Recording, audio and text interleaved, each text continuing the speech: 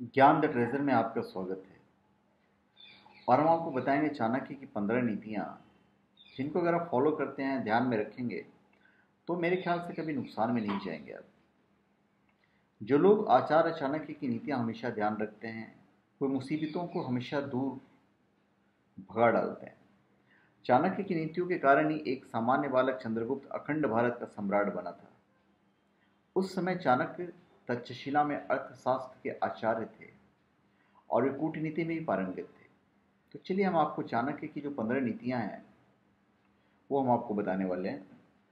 सर्वप्रथम, जो स्त्री पराए घर में रहती है, जो पेड़ नदी किनारे रहते हैं, जो राजा मंत्री न रखता हो, ये तीनों ही बहुत जल्दी नष्ट हो जाते हैं।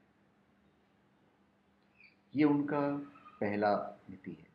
दूसरा, द्वारपाल, नौकर, राहगीर, भूखा व्यक्ति, भंडारी, विद्यार्थी और डरे हुए व्यक्ति को नींद में से तुरंत उठा देना चाहिए। ऐसे लोग को नींद में नहीं रहने देना चाहिए। किसी भी राजा की शक्ति उसका स्वयं का बाहुबल है। ब्राह्मणों की ताकत उनका ज्ञान होता है।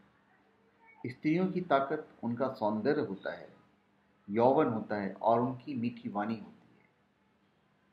राजा इन द सेंस आजकल के जो बहुत पैसे वाले हैं, आज तो राजा नहीं है, उस वक्त राजा होते थे, आजकल जो पैसे वाले हैं, उनकी अपने जो ब्रेन है, वही उनको इस्तेमाल करना है। उसके बाद उनकी अगली नीति, अग्नि, गुरु, ब्राह्मण, गाय, कुमारी कन्या, वृद्ध और बालक। इन सातों को कभी भी हमारे पैर नहीं लगना चाहिए, क्योंकि ये सब लक्ष्मी के स्वरूप हैं। प्रजा द्वारा किए गए पाप का फल राजा को मिलता है।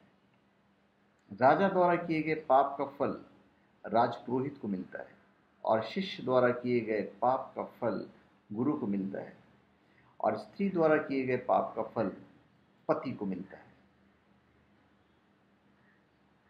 उसके बाद उनकी अगली नीति है जैसे ही भय आपके करीब आए, उस पर आक्रमण करके उसे नष्ट कर दीजिए। अगर आप भय को नष्ट नहीं करेंगे तो भय आपको नष्ट कर देगा। भगवान मूर्तियों में नहीं है।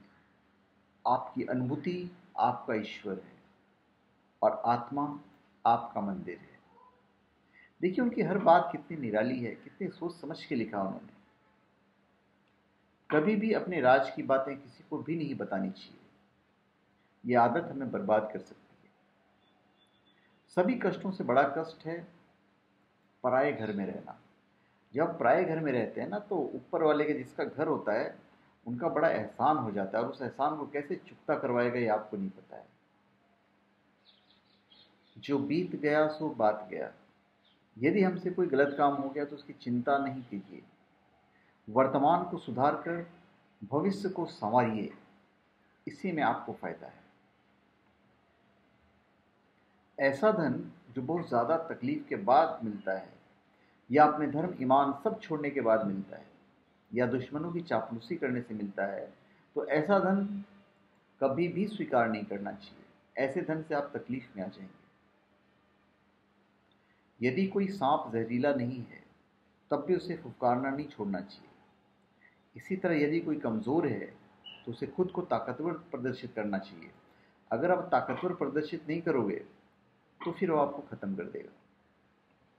तो आज के दौर में आप सोचिए, आपको कभी अपने आप को किसी के सामने ये प्रदर्शित नहीं करना कि हम कमज़ोर हैं।